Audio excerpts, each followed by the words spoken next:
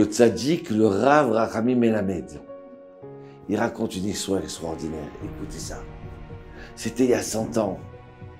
Il avait dans son village un homme qui était riche. Il était joyeux. Il appelle le Rav, Rav, Rav. Dites-moi, regardez, prenez cette bourse d'argent. Ça, c'est pour les pauvres. Prenez ça. Ça, je veux que vous ayez un Talmud Torah. Je veux qu'il y ait plus de Torah dans la... Amenez un autre rabbin avec vous. Ça y est, il faut qu'on fasse, qu'on construise la prochaine, génération. Ah oui, bien sûr, bien sûr. Voilà. David, il s'appelait David. il distribuait son argent. Et plus il distribuait, et plus il gagnait de l'argent. Tout le village était heureux. Tout le village, les pauvres, les riches. Il y avait la Torah. Et voilà qu'arrive un jour, il est âgé. Il est marié, il a un enfant. Et il quitte ce monde-là. Mon fils, n'oublie pas la tzedaka. N'oublie pas, c'est ça qui nous sauve la vie. C'est ça qui nous aide. Et puis, et puis Hachem nous a donné trésorerie. C'est pas à moi l'argent. Trésorier de Dieu. Shema Israël. Hachem Elokeinu, Hachem Echad. Il est décédé, l'enterrement. Et voilà que Yosef, il prend tout l'héritage. Et il fait la fête. Et il jette son argent. Il dit la pizza l'argent. Il a oublié la tzedaka. Non. Il faut que je profite. Et comment je vais faire quand je, suis marié et j'ai des enfants? Il faut que je prépare le travail de mes enfants quand ils vont grandir. D'accord? Il faut que je leur achète un magasin. Ah, la tzedaka, tzedaka, c'est mes enfants. Je peux pas m'occuper pour deux ans. Je peux pas, je peux pas. Et voilà que petit à petit, ils perdent de l'argent. Et ils perdent de l'argent. Ah, ils perdent, mais, et quelqu'un, il dit, vous, Vakasha, on voudrait agrandir l'école pour étudier la Torah. Tu peux nous donner l'argent? Mais je peux pas, vous, tu vois pas que je m'en sors pas, là. Cette année, encore plus dur que l'année dernière. Et voilà qu'il perd tout son argent. Il dit à sa femme, écoute-moi, j'ai trop honte de travailler ici. Faut que j'aille travailler chez quelqu'un d'autre. Écoute, il me reste quelques pièces. Prends-les. Et moi, je vais dans un autre village. Vas-y, mon mari, vas-y. Et voilà, il va travailler dans un autre village.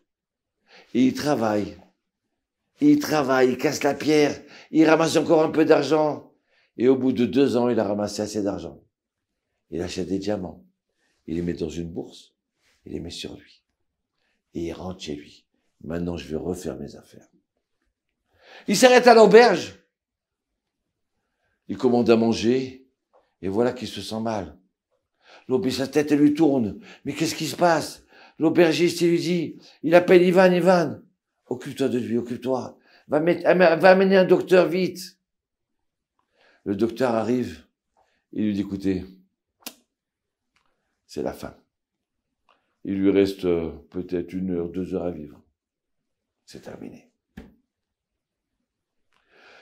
Et là, David, il se met à pleurer. Mais comment je vais faire là? Ça y est, je revenais à la maison. Et là, d'un seul coup, il se rappelle. Il se rappelle de Dieu. Il se rappelle de son père avant, avant de mourir, le schéma Israël. Et puis d'un seul coup, il se dit, mais mon papa, avant de mourir, il m'a parlé de la tzedaka. Mon fils, la tzedaka, c'est important. La tzedaka, ça sauve de la mort. La tzedaka, tu, es trésorier de Dieu, tu dois aider les autres. Tu dois aider la Torah. Ouais. J'ai pas fait ça, non. Quand le rave, m'a tapé à la porte, j'ai pas voulu donner. Je lui ai donné une petite pièce comme si j'étais un mendiant, un tout pauvre. Anachem, Anachem, mon Dieu, redonne-moi la vie. Et je ferai de tzedaka, j'ai compris. Redonne-moi la vie. Et là, il s'évanouit. Ivan, il a dit, ouais, le docteur, il va mourir. Il a dit qu'il meurt dans une heure. Et puis d'un seul coup, il voit, il y a quelque chose qui sort de sa poche. Ivan, il fouille et il voit une bourse. Il touche. C'est quoi ces pierres-là? Il ouvre. Il voit des diamants. Oh là là Et vous savez quoi? Yosef, avant de mourir, quand il a entendu le docteur qui lui a dit qu'il restait un an à vivre, il a pris un papier, il a marqué le nom de sa femme et l'adresse de sa femme. Ivan, il voit cette bourse toute ébouillie de diamants. Il prend vite et il se sort de la maison. Il change de village. Il va dans un autre village. L'aubergiste, il vient voir. Qu'est-ce qui se passe? Oui, Ivan? Vite, il va chercher un autre docteur. Et le docteur, il dit, écoutez, on peut le sauver. Allez, apportez ça comme médicament et ça comme médicament. Ils lui ont donné. Et voilà que, au bout de trois jours, Yosef, il se réveille. je suis là. Oui, oui, oui, c'est moi l'aubergiste, ça y est, tu es vivant. Ah, heureusement. Merci, mon Dieu, merci. Mais où est, où est la bourse? Ils m'ont volé la bourse. Le, qui c'est qui... Et là, l'aubergiste, ouais, je comprends pourquoi Ivan, je ne le vois plus depuis trois jours.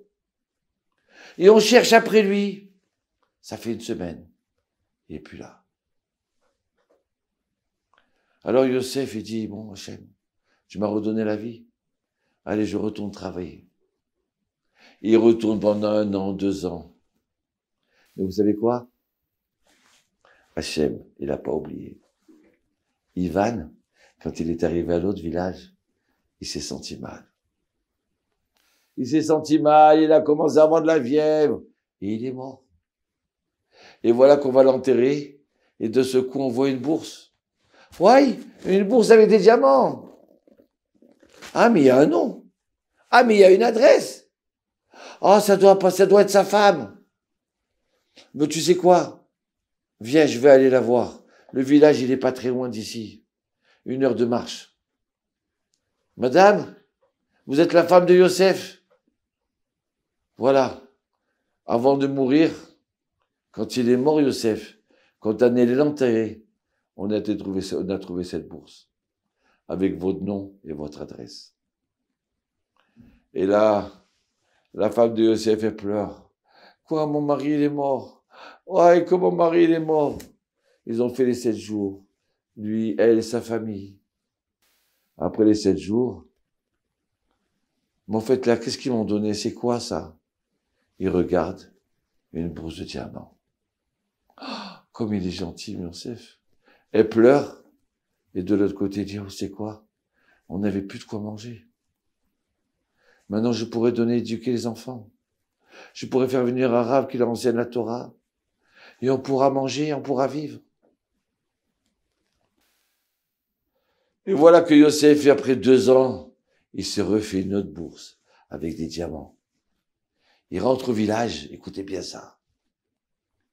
Mais ça a changé. Mais qu'est-ce qui se passe là? Il voit un rave, il dit excusez-moi, monsieur le rave, j'ai besoin de cette adresse-là. Ah, alors là, sincèrement, j'ai pas le temps. Viens avec moi, je fais un mariage. Tu viens avec moi et après je m'occupe de l'adresse. Le rave, n'a même pas entendu l'adresse. Il le prend avec lui. Et il s'assoit au mariage. Et il voit le khatan en train de rentrer. Ah, il est content, pourquoi ça fait plaisir un mariage juif comme ça. Ah, il n'est pas tout jeune, hein, quand même le marié. Oh, il doit avoir la quarantaine. 35 hein. ans peut-être. Et puis d'un seul coup, il voit la Kala qui rentre. Oui Mais la Kala C'est ma femme Quoi, elle va se marier avec lui? Mais moi, je suis là, moi C'est quoi ça? Et là, il éclate en pleurs. Et le voisin d'à côté dit, qu'est-ce qu'il y a? Si ne pleure pas, c'est pas bien. Rentre dans la pièce d'à côté et le faire entrer dans la pièce à côté. Appelle le RAF tout de suite. Mais non, mais il va faire le mariage maintenant. Et le RAF, il a dit, il peut pas venir maintenant, après le mariage. Tu lui dis qu'il vient tout de suite, sinon je meurs tout de suite. Donc le RAF, vite, il vient en courant. Qu'est-ce qui se passe? Mesdames et messieurs, excusez-moi, attendez, je reviens tout de suite. Rav, la femme qui se marie, c'est ma femme. Comment? Mais oui, je suis ma, c'est ma femme. C'est Yosef. Oui. Appelez-la, appelez-la. Et voilà que la femme rentre, la cala, toute belle, toute maquillée. Elle rentre dans la pièce et elle pousse un cri. Ah Youssef Youssef, tu es vivant Mais on m'a dit que tu étais mort Aïe, comme elle est contente. Aïe, bon Rachel, je ne me suis pas marié. Aïe, c'est toi que je veux, Youssef. La chèvre qui t'ouvre. Et là, Youssef dit, ma femme, appelle le khatan. Écoute-moi, je sais que c'est pas de ta faute, c'est pas grave. Mais on, et les invités, les repas? Mais qui c'est cela C'est les pauvres. Ah, tu as invité les pauvres au mariage. Ah, comme je suis content. Alors tu leur dis qu'on n'annule pas le mariage. On va faire la fête. Et je veux que le rave, il nous bénisse pour recommencer une nouvelle vie. Toi et moi. Ils ont fait la fête, oui. Tout le monde était heureux. Et là, Yosef dit au rave, vous savez, la moitié de la bourse, je la veux pour la Torah. Je la veux pour la Tzedaka. J'ai compris le message de mon Père. Je suis maintenant un trésorier de Dieu.